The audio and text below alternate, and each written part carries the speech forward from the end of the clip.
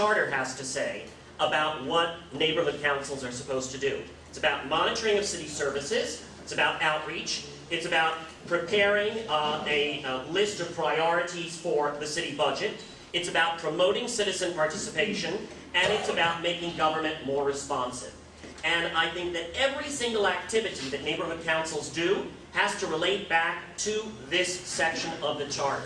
So for example, money has gotten spent on a whole variety of wonderful community projects. They're great, and in fact, they can leverage the money that is used. But that does not mean that they are what is set out in the charter.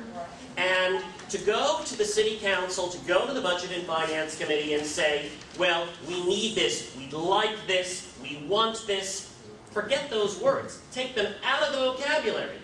The issue is what are we obligated to do as neighborhood councils by the charter, and what is the city council obligated to do to provide us for the resources in order to accomplish that. So it's not about wanting money so that we can do some nice garden or so that we can have a nice community project. It is about, again, going back to the charter very, very specifically. And it's also not about we like these things so that we can function better, but it's that we are entitled to these things in order to do the obligation that is set out for us and the obligation that is set out for the city council and for DONE clearly in the charter.